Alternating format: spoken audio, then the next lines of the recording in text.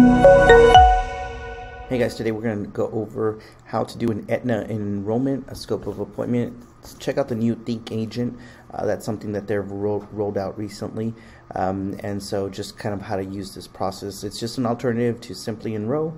Uh, it is a good one. You can do HRAs and everything through here, uh, and they are uh, making it very user friendly.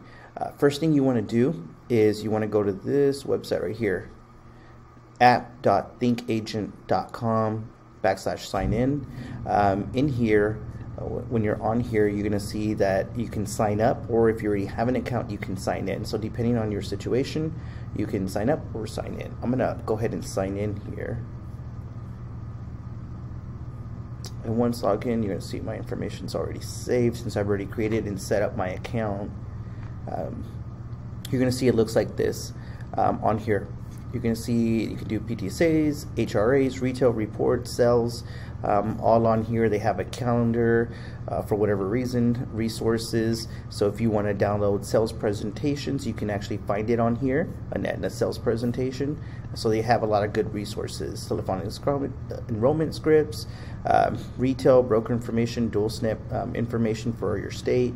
Uh, so it is a pretty good resource page. You can also even change the way it looks to dark mode, change your security questions, your profile, things of that nature.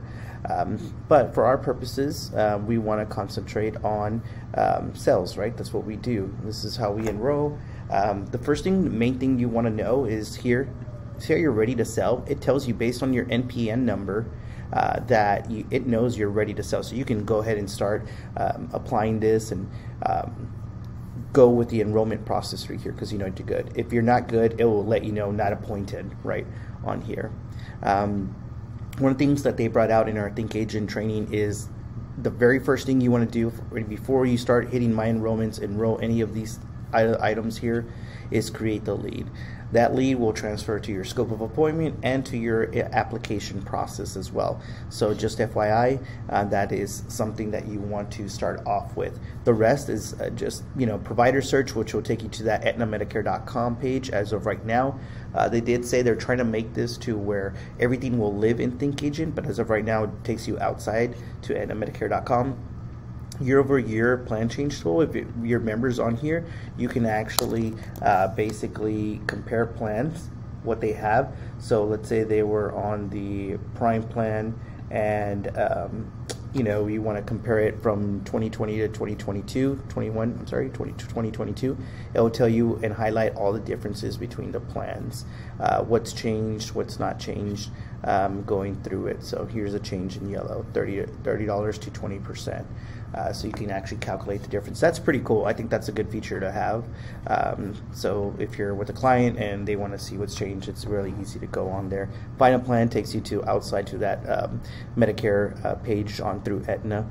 But leads, leads is the first thing that they stress that you need to go do. You need to add the lead.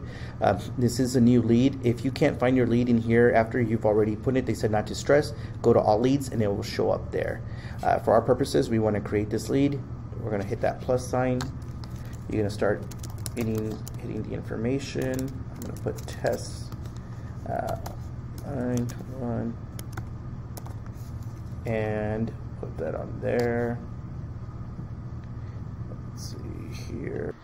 So here I've inputted all the information, um, my dummy Medicare number, um, and then I just hit save.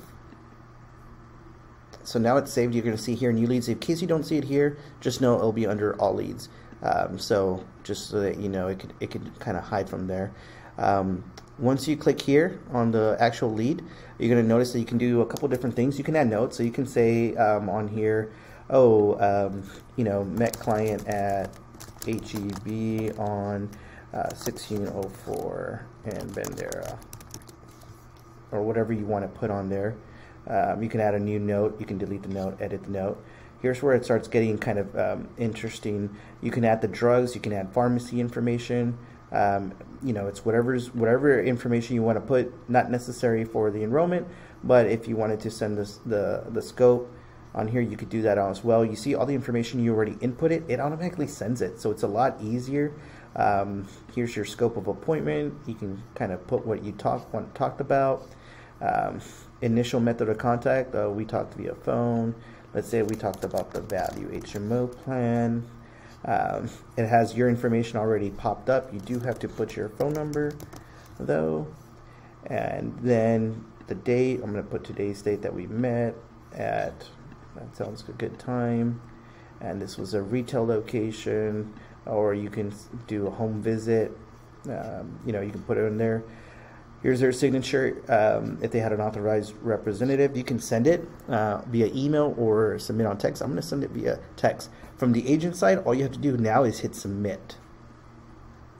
So it's going to send it over to that client, and let's wait for the client to get it. You're going to see the client's going to get a text, and it's going to have a link, a, like a blue link below, it, where they can sign it. Once they hit that link, it's going to be the the actual um, scope of appointment, you're going to see that it's going to look very similar to that page that we were on, but it's going to, instead of saying submit, it's going to say accept or reject. So they can reject the scope of appointment. Uh, you're going to want to tell your client to hit accept. So I'm going to hit it there. It's going to say, do you want to accept? Okay. And now uh, the client has accepted it on their phone. Um, and you should be able to now, if you go back on your side, um, see that it says SOA approved on here. It will change as soon as the client does it. Um, you'll also get an email confirmation, and the client gets an email confirmation as well that it's been done. Um, so that's how you do the scope. Um, the application, uh, basically, you go back into it. And um, now that you've created the scope, uh, you can add pharmacy, drugs, all that information on here, um, on there. Okay, now that you've created your lead and, and have it your scope, you can actually hit home. Uh, you want to come to enroll.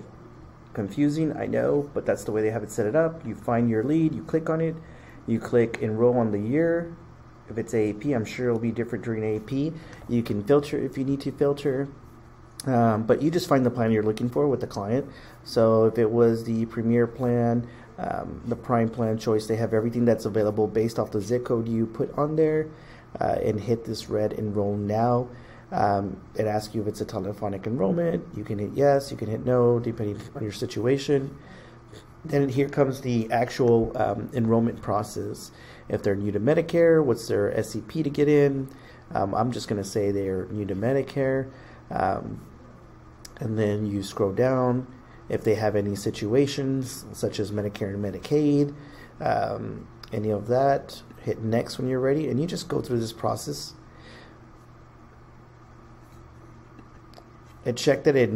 You see how it's gonna. I'm gonna have to stop here because it knows that my um, birthday does not match up with that MBI number. But you just go through the process just like any other enrollment um, on here. So you can put in the information. You can actually look up the, the primary care doctor since it's an HMO. You're going to need to put it on there um, and try to find them. So I'm just going to put um, this guy in Boerne.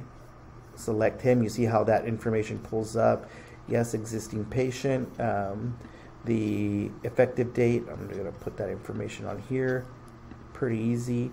Um, you're going to hit next when you're ready to go, but you're going to see here that uh, it's a very similar, it pulls in the information from the scope, so you don't have to actually put it.